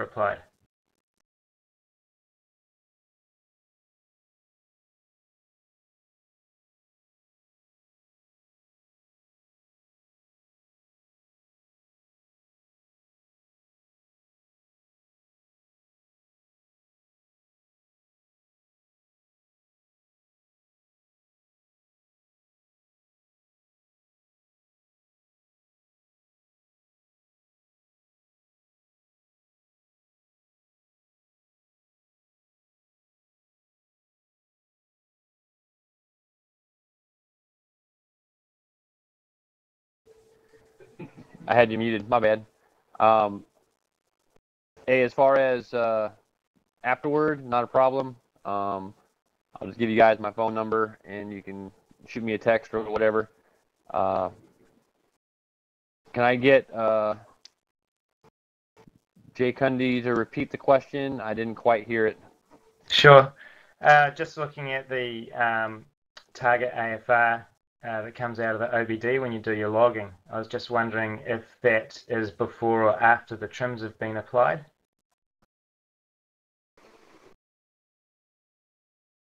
Gotcha. Good question. The uh, AFR that you read out of the logs is the actual AFR after all of the trims and everything have been applied.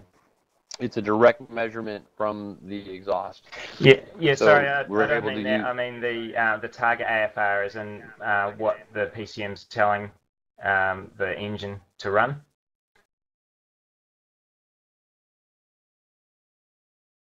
Gotcha. The, the target AFR is doesn't really require the fuel trims because the fuel trims affect only the actual AFR. So if you have a Cobb or any ODB2 reader that is capable of reading the target AFR, that's simply the number that comes off of the target AFR table based on your load and your RPM. Okay. Um, the reason I ask is because I did some um, logging with some flat tables where I just had 13 as the target AFR across the tables and the uh, VE table was flat on one.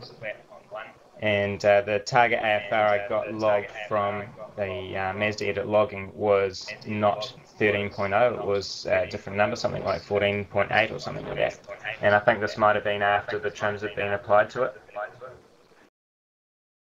Well, no, no. If you're in closed loop, there is another table called closed loop target AFR, which you would then have to modify. So if you wanted to just test it, you'd have to use the closed loop target AFR table.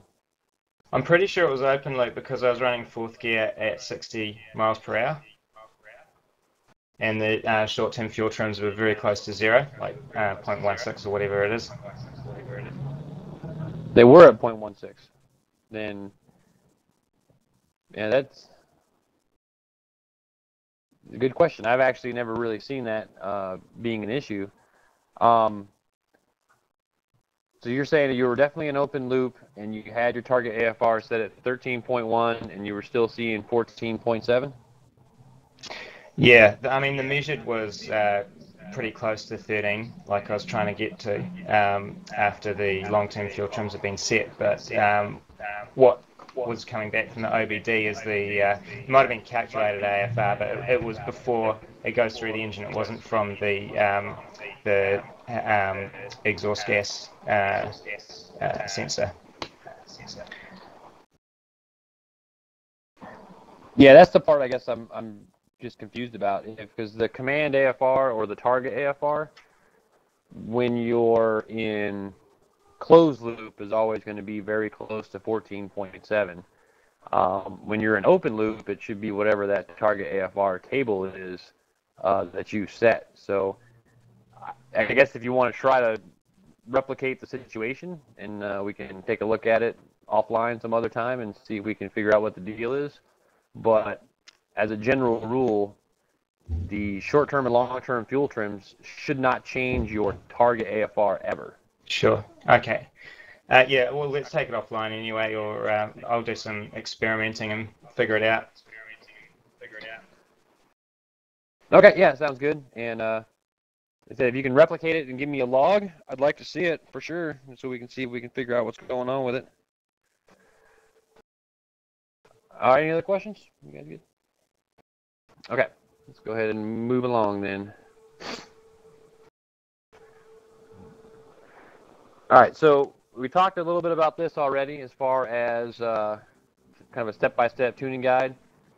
Um, first thing we're going to do, we're going to calibrate and we're going to scale all of our sensors, which includes includes the injectors. They're not really a sensor, but we just we scale them at the same time. Uh, the specific process that we do to follow that, which I'll uh, we'll probably get into here um, a little bit more detail later on this afternoon here in about 30 minutes or so. But you're going to identify the different areas that you can control to get down to one single variable. All right. The problem that we have, and the reason why the piston guys got a little bit of a layup on this, is that we have multiple injectors per rotor. So when you, for example, normally you first by start off by scaling the mass airflow sensor. Once you scale the mass airflow sensor,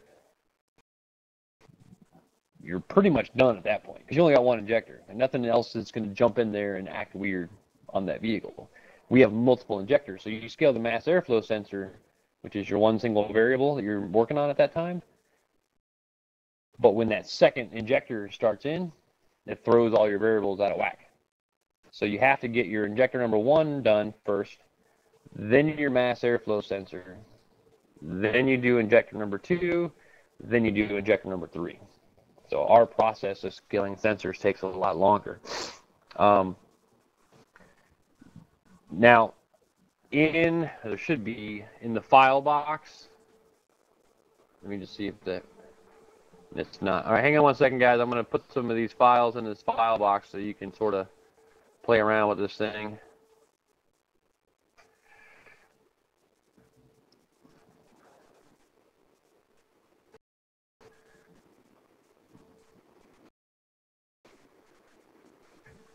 Maybe. Let's try it again.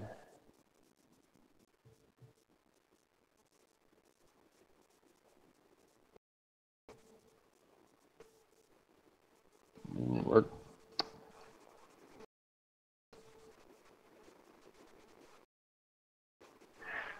All right, well, we'll look at it. Um, as far as at the end of this whole process, um, I'll make sure I get all your guys' emails and I'll be able to farm all the stuff out to you, or I'll put it out in Dropbox or something. But uh, okay, so here we go. We got our our uh, mass airflow sensor. Now, at idle, we know that we average about 5.5 grams per second of air at idle. So what you do is you sort of set this up in such a way that you get a, a voltage band from your idle, and you get your target, your actual, figure out your percent difference, and then you'll see where it says actual grams per second on this document. that's what we're going to modify it by, right? So you've got your, you know, 0.2, 0.1, so on, so on, so on, all these little different variations, and you go back and you scale your mass airflow sensor. All right, but we're going to do it a little bit differently on ours because by virtue of experience and the fact that nobody's radically changed their intake, you can you don't have to be this detailed. You don't have to go through every single voltage variation. We can do it kind of in chunks. Okay? So what we'll do when we first started doing our mass airflow scaling is we're going to scale the idle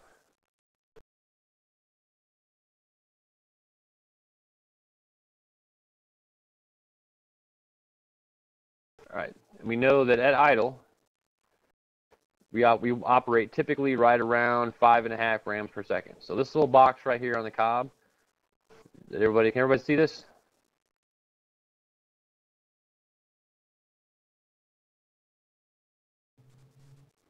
Okay, so that little area is your typically where everybody's going to idle. Okay, so right around five and a half grams per second, right around 1.21 volts. Okay, something very close to that if this, and the only reason why we know this is just by virtue of experience, right?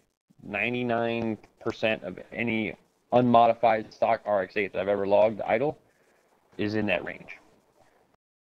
So, for example, if you have factory injectors, but you've done some aftermarket ignition uh, air intake, and you see that you're not idling at five and a half grams per second, it's pretty easy to determine which item it is that you need to change right? So we're going to change this. Now, when you change the mass airflow curve, you change the cell that you're modifying and everything else to the right of it. Okay, so if I needed to change this, I would click that. Okay, click that cell right there. I would go all the way to the end. Click the last cell. Maybe. Why you messing with me?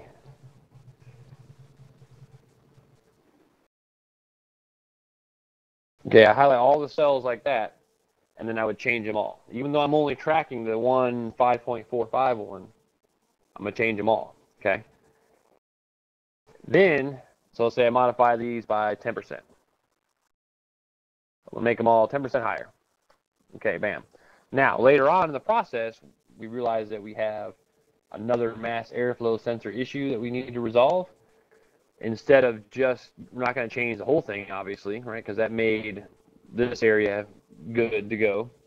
So now later on if we have to change it at 1.41 volts then we do the same thing. We just change the 1.41 all the way up to 4.88 so we'll multiply that by 1. Point, you know whatever 02 we're going to add 2 more percent to that so that's generally how that process works. We always move left to right, higher voltages, if we have to change the mass airflow sensor.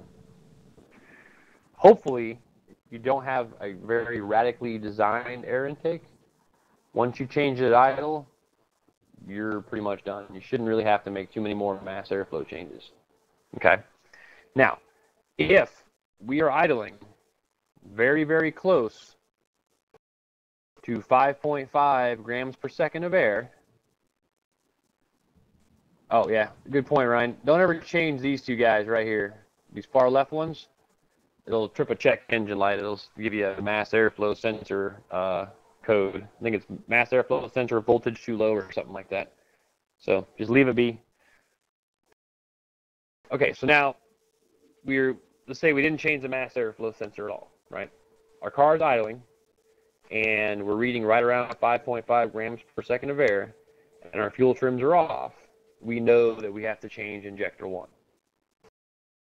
So that's the one area where you just sort of have to trust experience on this. Okay, if you have a heavily bridge ported, you know, crazy, really really radical engine, the system may not work. You may have to play around with it a little bit more.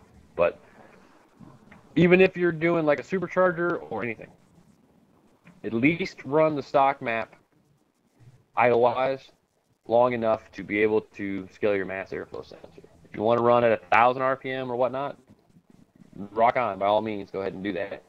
But before you bump up the RPMs, make sure that you're adjusting your at the stock level with the stock everything to get your mass airflow scale where it needs to be.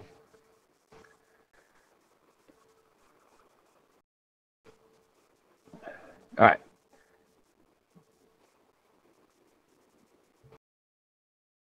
Uh, Ryan asked if we always start with the mass airflow sensor and move to the injectors. Yes and no. Again, like I was saying, if your reported airflow is very close to five and a half, 5.5 grams per second of air, and your fuel trims are off, you want to go ahead and modify your injector.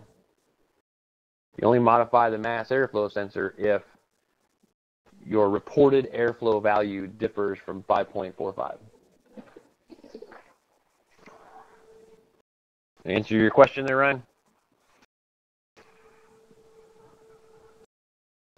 Okay. All right, so now what I want to do, we're going to do a real quick practice exercise on scaling the mass airflow sensor. All right, so I'm going to see if I can find an idle log real quick.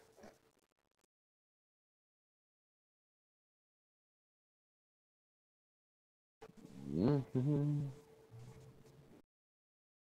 I don't think these are it.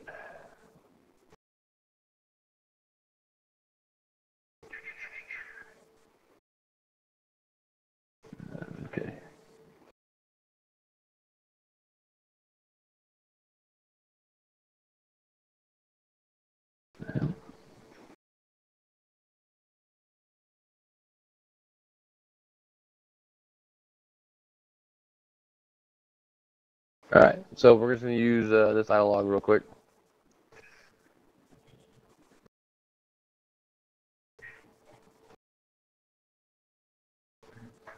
All right, everybody see this? Okay, so here's our, our log at idle. Again, fully warmed up, all that kind of stuff. Okay, some of the things that you want to kind of do, I always, at least for me, it always seems to reset. Make sure that your uh, your little Excel thing here is set to average. It makes your life a little bit easier rather than having to manually do it. All right, so all you got to do for idle is look at your short-term fuel trim. The average is negative 6.6. Everybody see that? Down there at the bottom. Might be hard to see on the. Everybody see this number right here?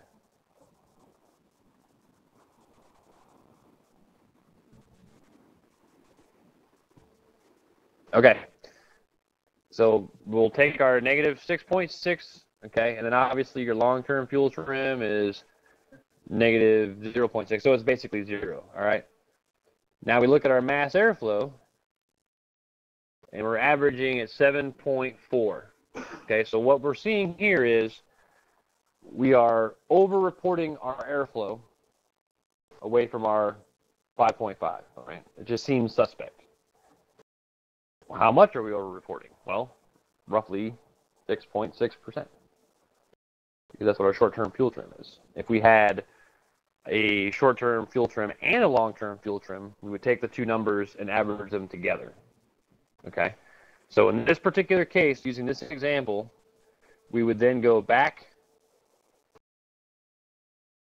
to our voltage range, which is here, it's 1.265 we would go back to 1.265, so right around here-ish, okay, and we would highlight this whole range on our mass airflow sensor, press the M key, which stands for multiply, and we would type 0.94, right, because we want to decrease it by 6%. Granted, six and a half, but whatever. And we'll make that change. Then we go back and we relog the idle and try to get the short-term and long-term fuel trims as close to zero as possible and our airflow as close to 5.5 as possible.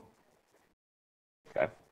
If the airflow had said 5.5 and we had a negative 6 fuel trim, we would adjust injector bank number 1. And if we had to adjust injector bank number 1, we would do that right here.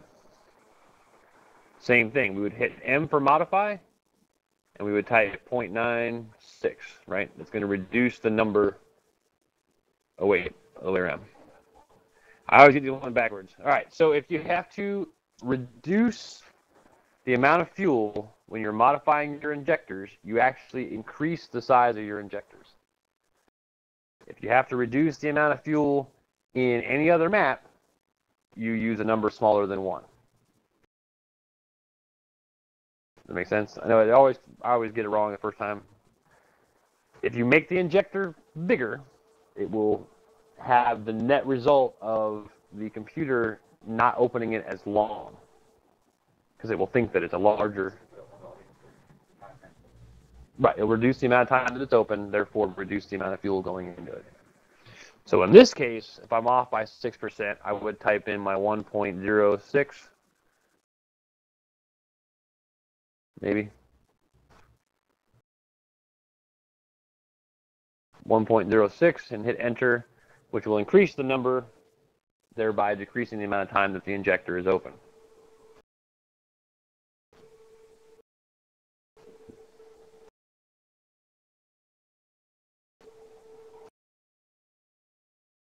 Okay, uh, we got some audio issues here. If the mass airflow sensor was 5.5-ish, we would only focus on bank 1 scaling. That is correct, Ryan. If your mass airflow is right around 5.5, you are only going to be changing the injector bank 1. And then Isaac, what part did you get cut out on?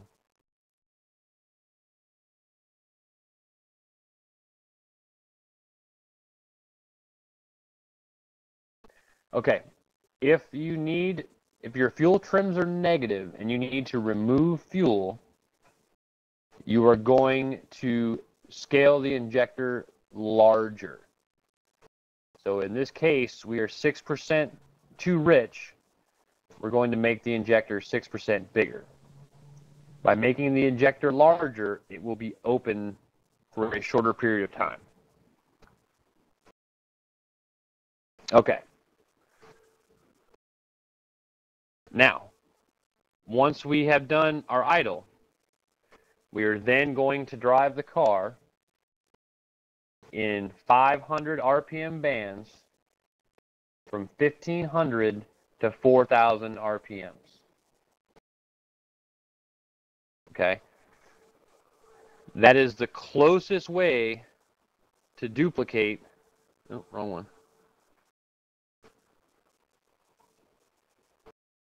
That is the closest way to duplicate this mass airflow table here without driving yourself absolutely insane.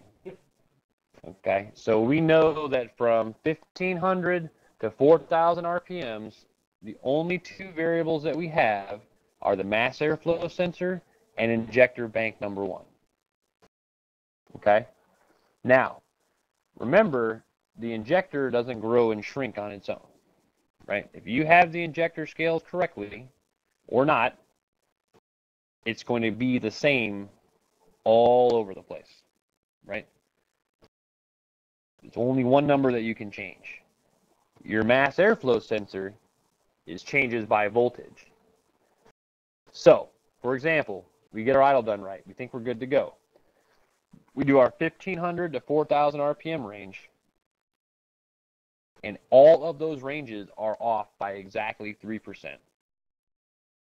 What variable should we be adjusting?